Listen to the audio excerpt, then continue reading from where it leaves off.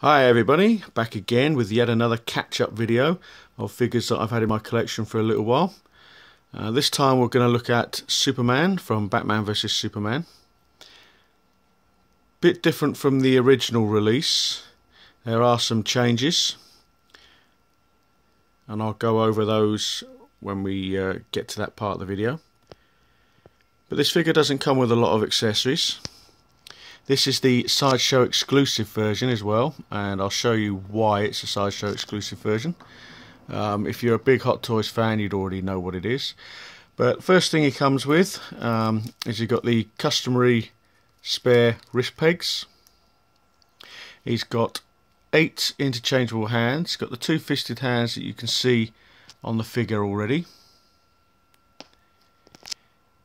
He has two of these open palmed hands, sort of relaxed open palmed hands. These would be ideal for museum poses, really. So he has a left and a right of those. Come on camera, get in focus.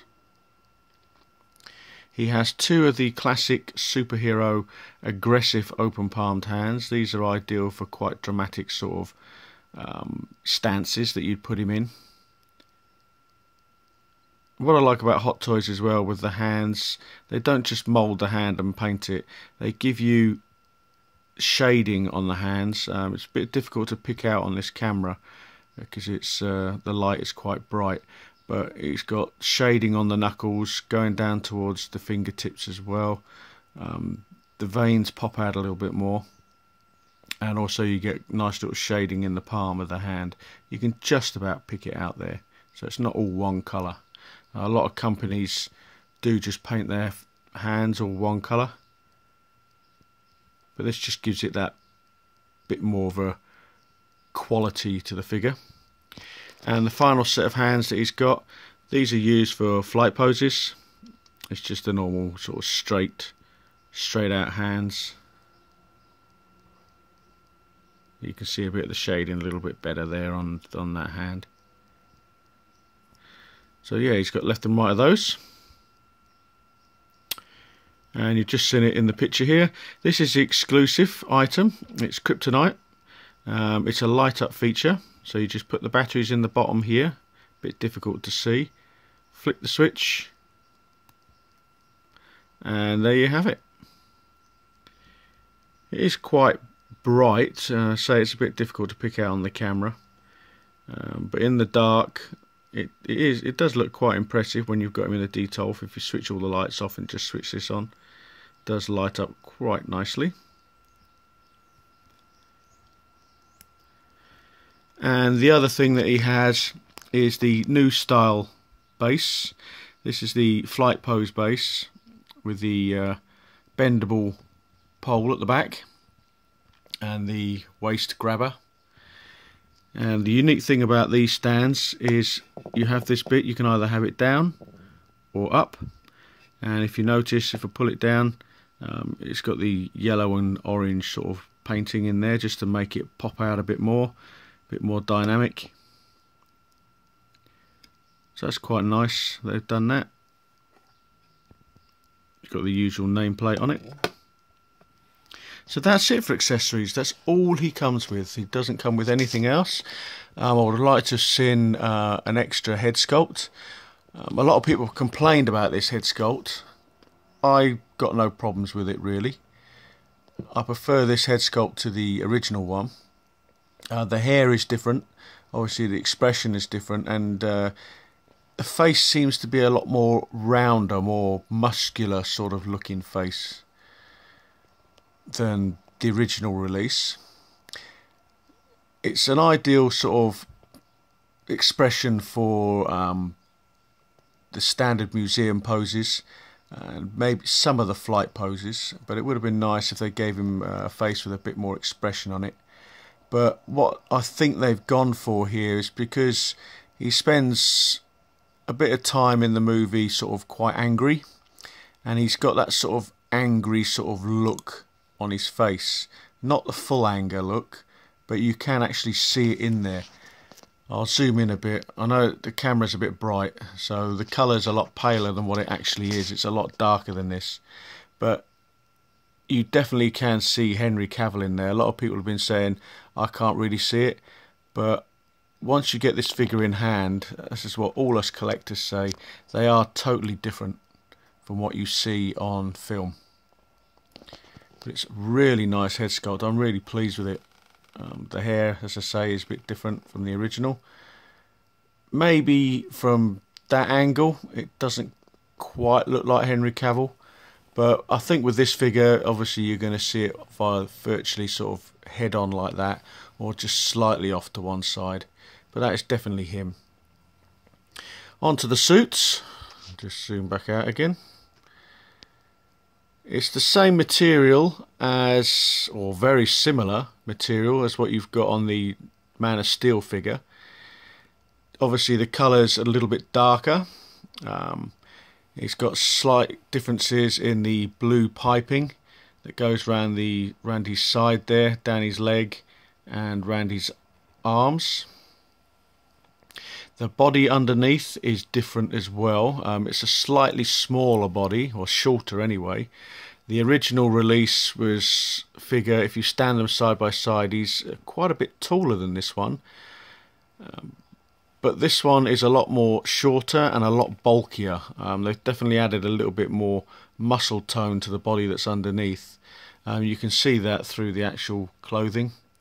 It's a lot more ripped and especially more noticeable on the legs. The legs are quite a bit larger um, in muscle mass than what you got on the original. But then in this film, he did bulk up a lot more. Um, so Hot Toys have been true to their sort of normal standards and tried to give you as near a movie accurate figure as they can. You're never going to get a figure 100% movie accurate. I'm not too bothered about accuracy really. As long as the figure looks good in your display, who cares? There are a lot of people out there that per, uh, that want perfection, but I'm sorry guys, you're never going to get that. Um, another difference on the suit is the S symbol um, if I remember rightly, on the original one, it was just more like actually part of the suit, sort of painted on. Um, but this one is actually a bit of plastic that they've placed on the suit. I'm going to try and get it to an angle so you can see. But you can see it does protrude off of the suit. You've got the 3D effect of the S. So that is a big difference. And it's nicely done. While I've zoomed in, give you a closer look at the suit. And you can see the large legs there. Um, articulation wise, it's pretty good. Um, it's not so much in the arms. They do come out a bit. You'll see that. I'll do a couple of little poses later on.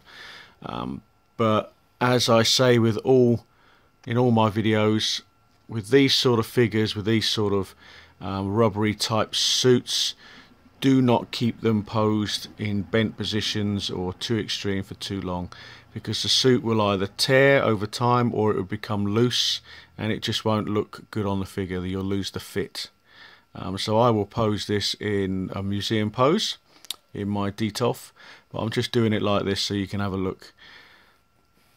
The cape um, doesn't come with any wires in it. It's just a free flowing cape um, I would like to seen maybe some sort of option where you could pull this cape out, a bit like the Batman cape, and place a separate cape in with wires in. So if you wanted him in a flight pose, you could maybe have the um, cape out like that, or if you've got it from the front, maybe sort of flicking out to one side. Um, that would have been ideal. I suppose if you've got him in a Detolf with a little bit of blue tack or double-sided sticky tape. You could stick it on the back of the glass and have it like that. Um, but yeah uh, that's basically all I can say about the clothing. Uh, the boots are slightly different as well from the original Man of Steel.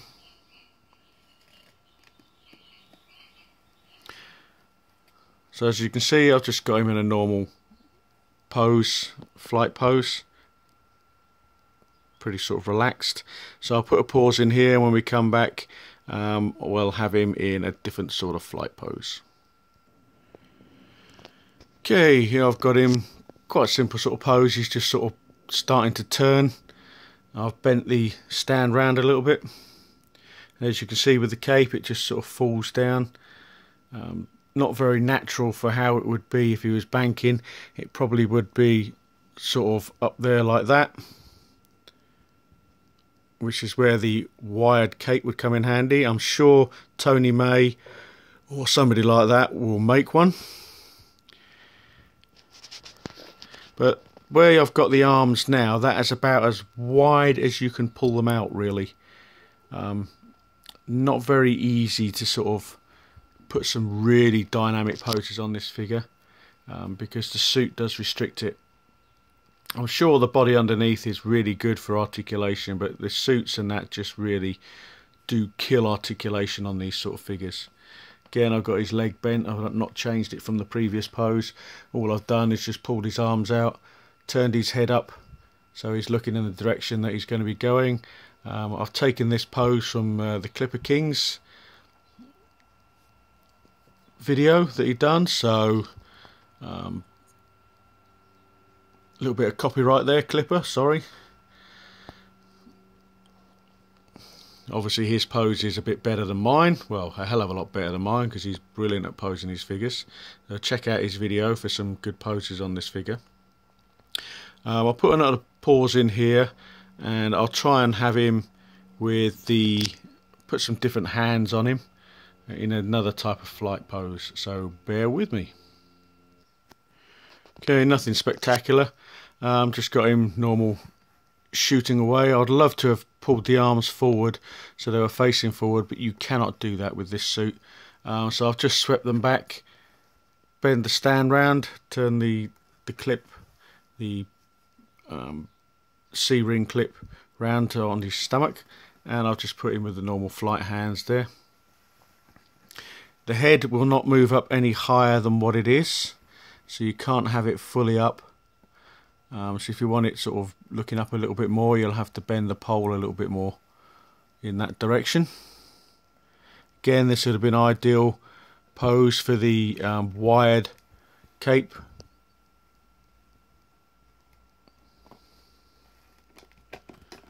Very top heavy though if you have it like this. I'm sure nobody will pose him like this yeah, just another very simple sort of flight pose. Uh, I'll put another pause in here now and I'll have him in a different pose again. Here we have him in the typical Superman museum pose, looking up to the heavens, I've just put the relaxed hands on him. Probably I will show him with the fisted hands, but I just wanted to show you the relaxed hands on the figure. One thing I have noticed while taking the hands off, the actual wrist pegs are a lighter colour than the hands. So when you're doing it, you'll want to try and pull these sleeves down as much as you can to hide the um, wrist pegs and the um, wrist itself because it does look slightly off.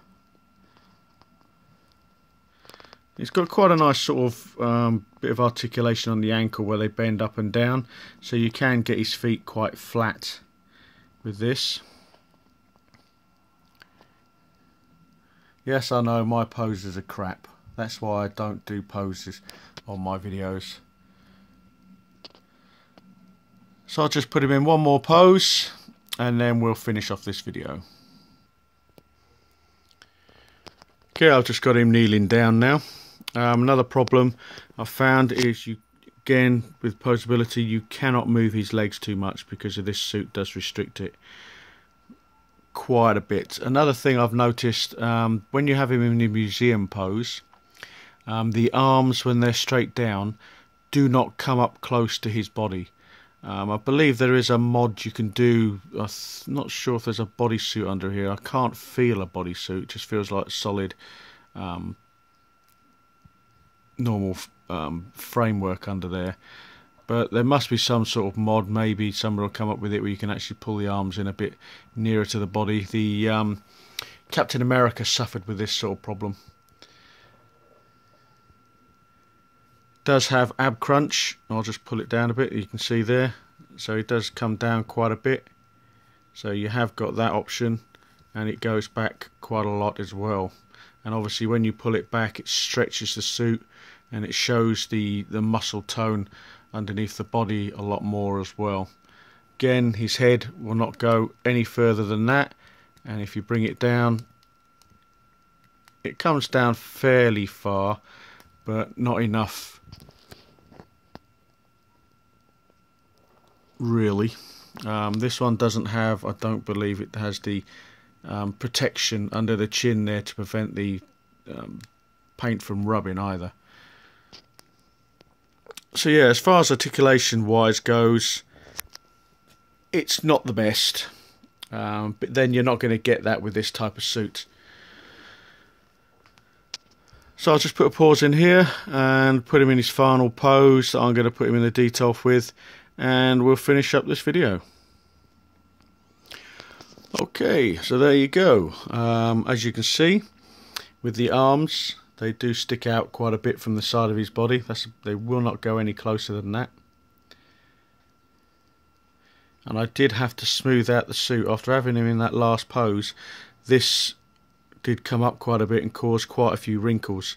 So I had to smooth that out a little bit. Um, I believe you can take the boots off but I'm not going to do that.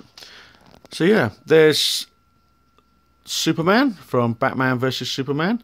Um, I haven't ordered the Batman from that film. Um, I just didn't really like the look of him that much. I'd, I'd rather have the um, Dark Knight version of Batman to go with him they complement each other really well.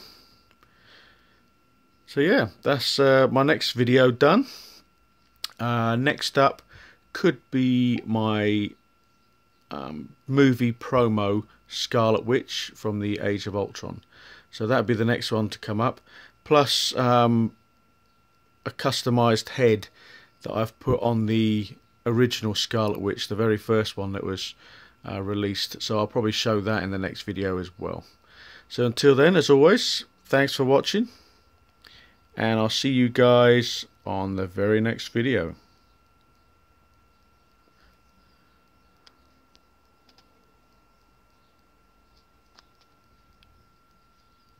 Take care.